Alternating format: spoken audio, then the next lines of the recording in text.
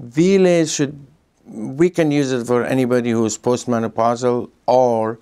above age 50, most women, and any woman younger who has got estrogen deficiency because of other reasons, uh, for example, breast cancer, and they use uh,